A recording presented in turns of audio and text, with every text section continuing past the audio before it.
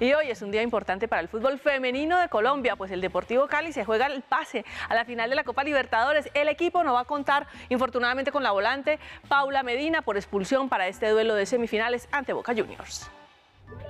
Llegó el tan anhelado día para las azucareras que hoy tienen el reto más grande de la historia del equipo femenino.